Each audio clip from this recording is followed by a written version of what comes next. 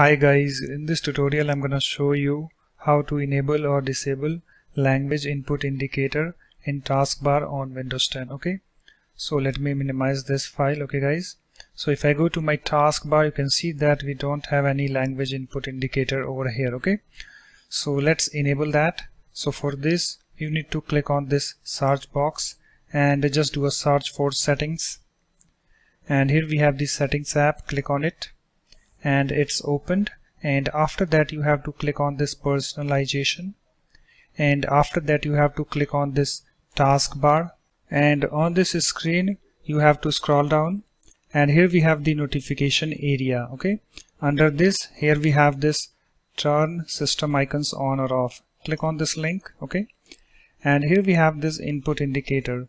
So currently I have this off. So I need to click on this toggle. You can see it's now on okay? And if I go to the taskbar you can see here we have this language input indicator uh, you know enabled. So if I click on this I can see the languages. And you can select the language uh, by clicking on it according to your requirements okay? So guys it's now enabled. So if you want to disable this again you have to come to this screen okay? And you have to click on this toggle to make it off. And you can see guys it's now disabled. And I can't see that in the taskbar okay? So guys that's it. In this way you can easily uh, enable or disable language input indicator in taskbar on Windows 10 so thanks for watching. If you like my videos please support this channel by subscribing to it. Thanks. Bye bye